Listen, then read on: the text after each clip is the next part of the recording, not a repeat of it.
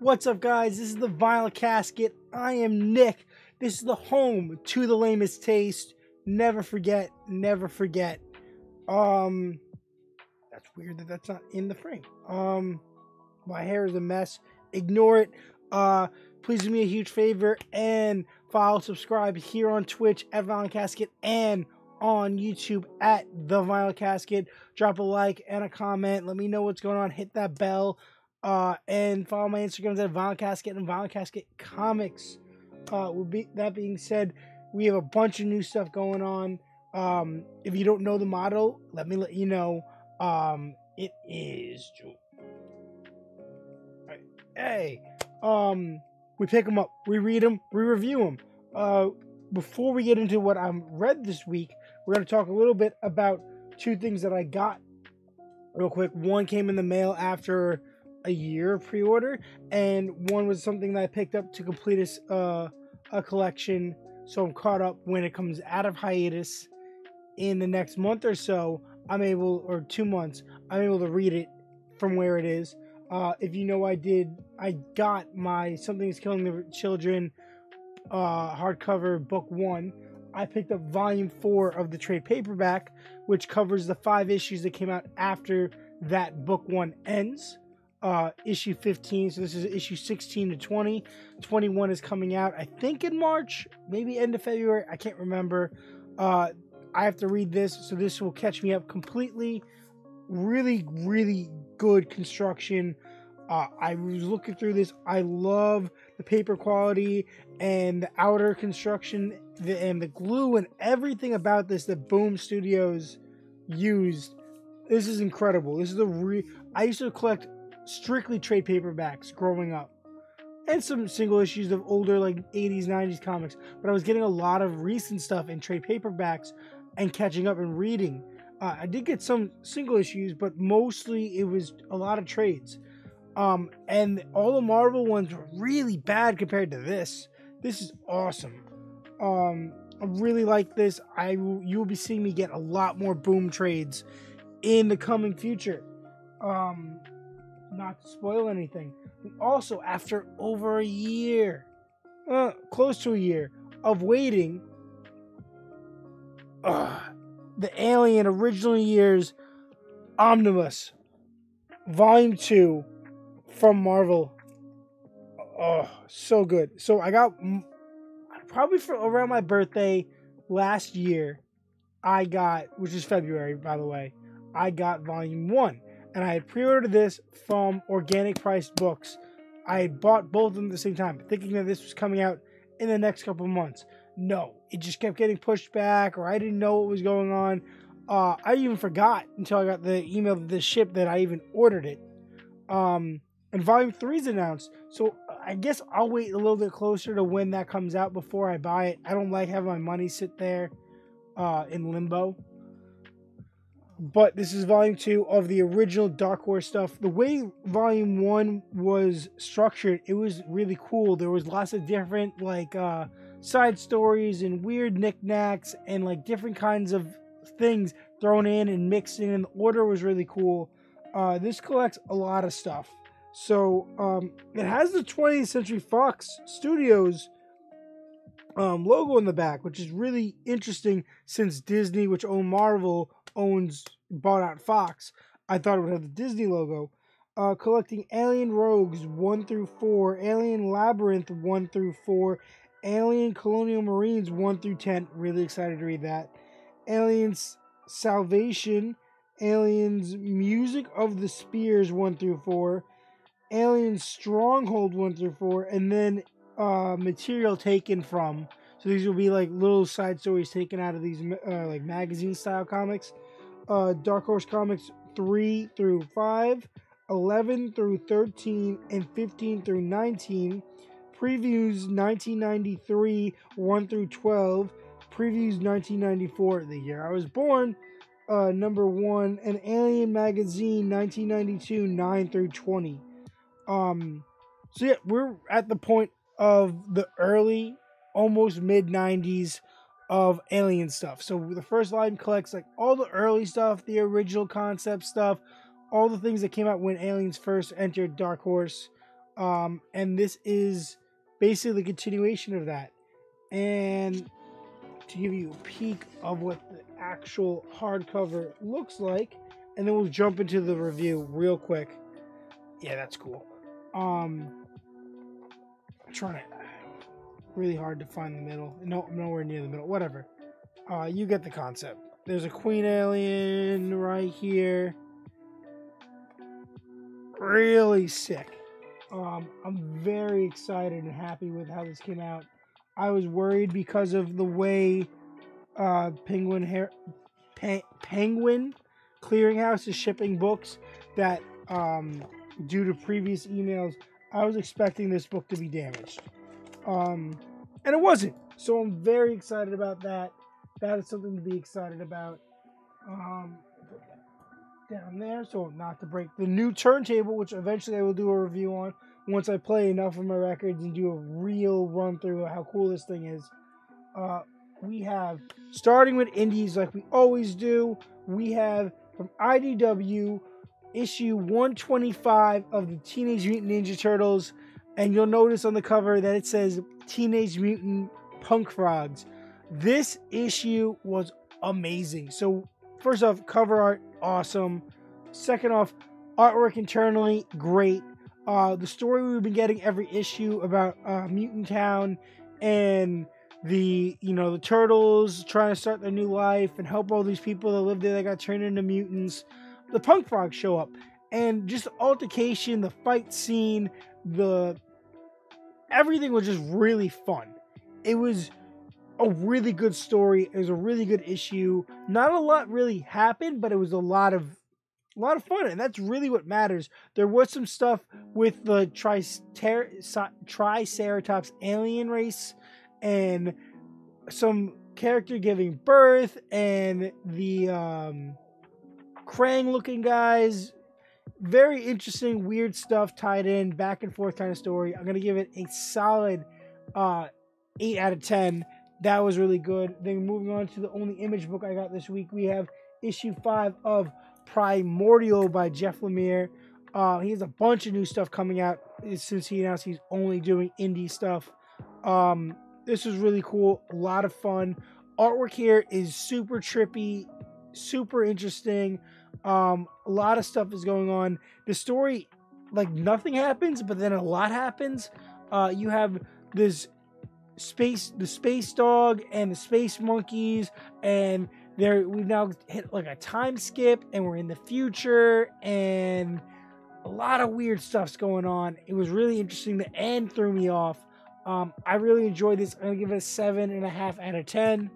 Uh, moving on to marvel. So marvel was the big pusher this week um, at, I haven't really had this much Marvel compared to DC since like 2019 when I got back into comics. So we're gonna start off with uh, two Devil Reigns tie-ins. First is issue one of Villains for Hire. This is the new Thunderbolts.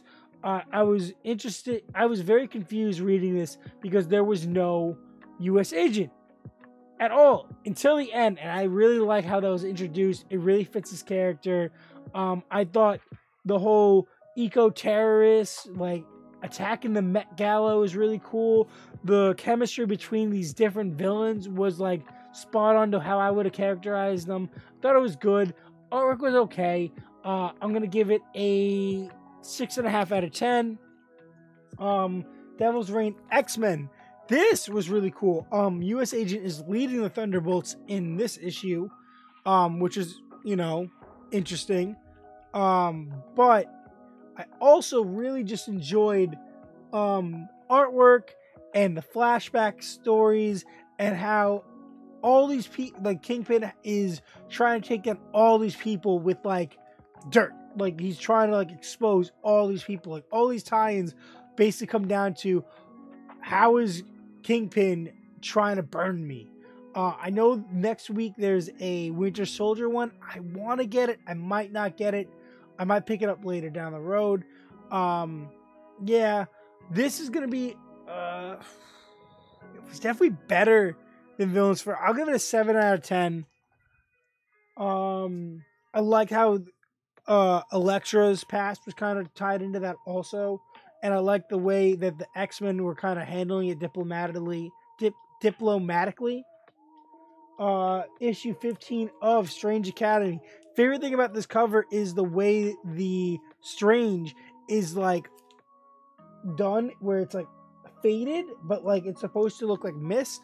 Really like that. Um, this is a solid continuation of the last issue. Last issue, I hop back into the series after giving up after issue like three. Uh, hop back in. I'm thoroughly enjoying this. Is a solid artwork, solid story. Um, I like the characterizations. I know Skottie Young is doing some of these characters dirty, but like I feel like he has like a reason for it, and like it's gonna explain itself eventually, and like it will matter some way somehow. Um, I'm gonna give it a solid seven out of ten. It was a really good issue. Um, Moon Knight issue seven, awesome A cover. If you notice, a lot of my Marvel stuff is just A covers right now. My shop is restructuring how they're ordering. Sorry about that. So they're having like a hard time getting variants because they don't know. They kind of they kind of like redid their whole like order structure of how much they're ordering each title. So now they're like just going off of like what they really need off of pre-orders plus like some stuff to fill the shelf because like it got a little slow. Uh, but they're redoing everything to restructure and try to get variants again. But this A cover was solid. Uh, this book is incredible. Who's the writer? MacKay is dude. It's just he's such a badass. Like like Moon Knight is just a badass, and this crew he's rolling with is a badass. And I don't know like super. I didn't put spoiler. I'll put it in the YouTube video, but this is gonna be my first major spoiler. Yo, what is Black Panther doing? T'Challa is the reason why Tiger's there, but like Tiger and Moon Knight are like good friends from West Coast Avengers. I'm interested to see where that's going. I don't want it to go the way I think it's gonna go, but like it's happening and there's nothing we can do about it. But everything else, story, art. I like how Moon Knight walks into this bar of villains. Like, I knew you guys are here the whole time. It isn't a secret. Yo, if you know who this guy is, Zodiac, you let me know. Otherwise, I'm gonna take you all down. No problem. I don't care. I'll let you guys live. I'll let you guys drink. I don't care. But if you don't tell me who this guy is, if you know anything, I'm gonna take you down. Badass. Straight badass. 8 out of 10. Awesome book awesome series. It's only seven issues, so easily there should be a trade paperback coming out. I suggest getting it. I think it might have just came out last week. Um, issue 86 of Amazing Spider-Man. I have a lot to say about this, uh, and I won't because I have a you know my Instagram review which I haven't made yet. I will type out some stuff about this, and there's things I want to say later down the road for another video. Um, I do think this is an okay story for the plot direction that it's been forced into. The way this series started off, I really liked it. I thought it had a lot of potential. And then we've slowly hammered our way into a direction that I thought still could have been okay. But we've now taken uh, a wrong turn, and there is no way uphill because we are flying downhill at top speed um, because of the direction the story and this plot is going. I don't necessarily think this is the best thing that we deserve as readers.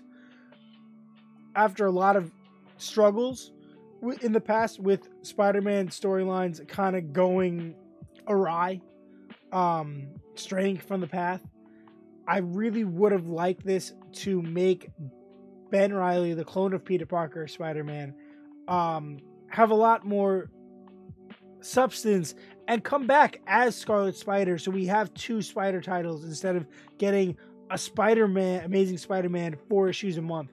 I would have rather had a title just focused on him and a title just focused on that. Um, currently, as it's happening in the Marvel Universe in modern time, um, this was kind of a train wreck. Um, didn't like the artwork. Uh, don't like Beyond Corporation. Don't like the head of Beyond Corporation. Uh, Mac, um, Maxine Danger. Think she's stupid. Uh, a lot of such stuff is happening. Um, I don't. I did like the therapist. Um, I do like the thing they're doing with Janine, the the girlfriend, wife, fiance of Ben Riley. Um, I just don't like how they're doing Ben dirty, kind of. Mostly, yeah, they're doing him dirty. Uh, they build him up, and they could have restructured him and made him cool. And like, it's like they're using Beyond Corporation as a plot device to ruin the character, so that Peter Parker can come save the day now and be like, "I'm Spider-Man again." I'm gonna give it a five out of ten. Um, damn, I'm for such a long time, Spider Man was so much higher than that because for like the most part of 2021, it was like fives and sixes. Then it was hitting sevens and eights and nines, and now it's issue one of Ben Riley Spider Man. Uh, Skottie Young variant cover. I always get the Skottie Youngs because I have that on order months in advance for, from my favorite shop. Um, love them I know, you know, I said the restructuring, but they really do take care of me. Um, this is a series about Ben Riley, which I loved. So this is set in the original 90s Clone Saga, and then after Clone Saga, you had uh, Ben Riley, the Spectacular, or Ben Riley, Sensational Spider-Man. I think he was either I think he was the Sensational Spider-Man was his title, and then it was um, uh, just Ben Ben Riley Spider Man or Spider Man Ben Riley, whatever. He had his own title where he was Spider Man in the 90s when uh, Clones Conspiracy. No, that's later on. So it's just uh, Clone Saga happens and you get the stuff with Kaine, you get the stuff with Peter, and who's the real Peter Parker? Who's the real Spider Man?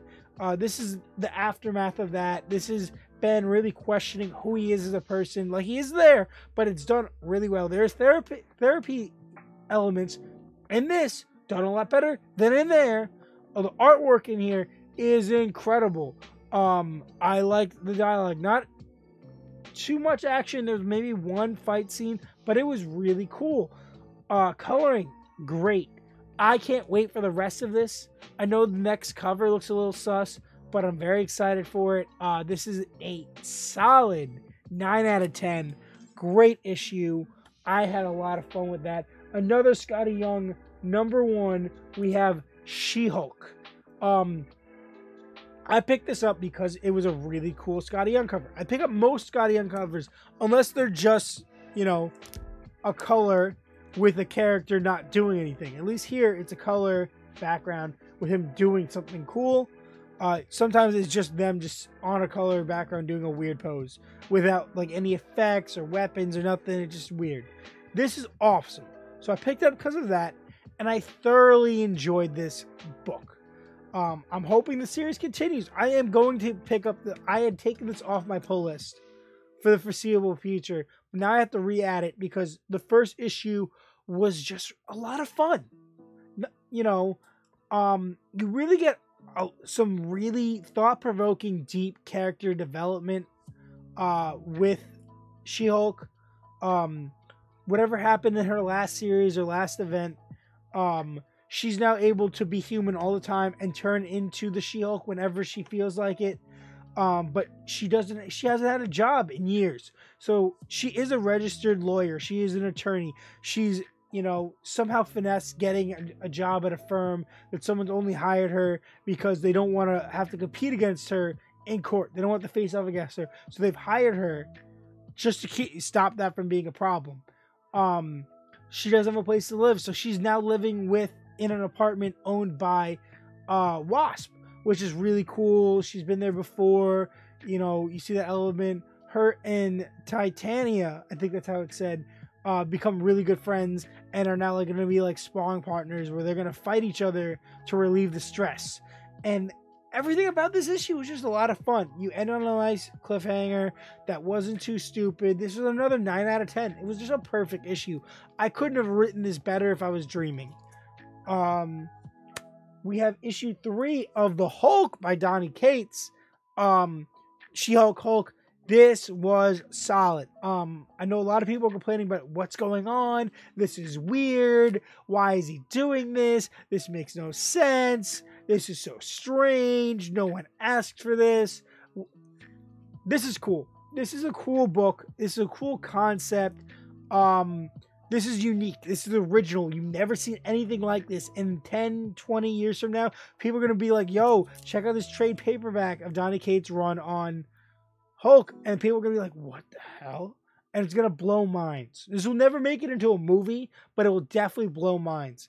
Um, so yeah, Hulk is still the body of Hulk, but with all the machines on it. So he's controlled like a spaceship because the psyche of corrupted, like mental break Banner is inside his head, looking through like his eyes, controlling the body through like this ship setup. So his psyche is controlling Hulk's body.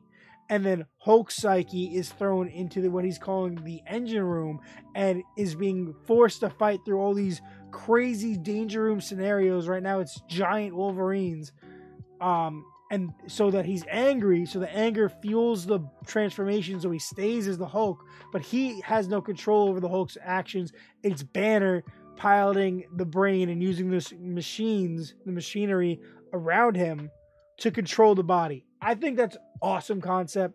I love how we're in like the multiverse, we're with another banner, all this really cool stuff. I'm not going to spoil this book because I suggest people jump into it and give it a shot and really think. It's thought provoking. It is a solid 8.5 out of 10. And we're on to DC. Finally, I told you. Crazy. I'm going to try to cut this down. It's It sucks because I'm picking up these books and I don't want to pick up these this many. But then I read them and I really like them. And I put, put them on the list because I think I'm going to like them and then I like them or they're connected to an event that I'm reading, so I'm like, oh, I want to know what's going on. Uh, that's why a lot of the the Devil's Reign stuff I'm going to not be getting because it doesn't seem like it's that necessary. It just seems like it's it tells they're like three issue series for some reason instead of one shots, and they tell a story that's like in line with the event, but doesn't really have anything to do with the event issue 39 of Catwoman. This is the start of Tini Howard's run on Catwoman. This is her first ongoing series with DC. She had her first DC debut debut uh, at the end of December with the Batman Urban Legends uh, story of uh, Nightwing and the Batgirls holiday special. That was really good. I loved it. She is in here. This is her first story. She's really set up the character on this new story arc. She has cleansed uh Alleytown, her home, that she bought this giant building, whatever, and the stray kids now run it, that she's trained and taught them how to live life, and she trusts the villains that are now like heroes there, and they've gotten rid of crime, and she saved it. She's now going back to Gotham because she wants to take on real crime. She wants to do real stuff. She wants to feel important and like she's the best. Like she knows she is. And you get a new side character, which we don't really know that much about. We get a shiny cat. We get um her being herself, which is awesome. Uh, and you get uh, some villains that she's trying to take down, and Black Mask. Really, really strong, strong intro into a new story arc. Uh, this is an 8 out of 10 Fantastic artwork, fantastic storyline. I'm really enjoying it. Can't wait to see what Tini Howard does with that. Jumping into the last book I have for this week, issue 88, cardstock. That was the cardstock cover, by the way. This is the cardstock cover of issue 88 of Nightwing.